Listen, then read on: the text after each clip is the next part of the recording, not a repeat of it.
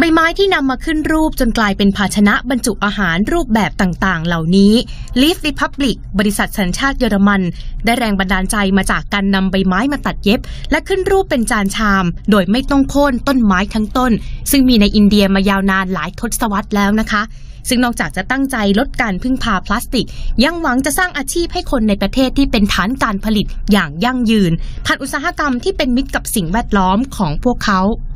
ำหรับต้นทุนของภาชนะที่ย่อยสลายได้ง่ายตามธรรมชาตินี้ ก็ถือว่าย่อมเยาวและใครๆ ก็หาซื้อมาใช้ได้ค่ะ เพราะว่าอยู่ที่ใบละเพียง 16 บาทเท่านั้น เรียกได้ว่านอกจากรักษาสิ่งแวดล้อมแล้ว ราคายังสบายกระเป๋าอีกด้วยค่ะ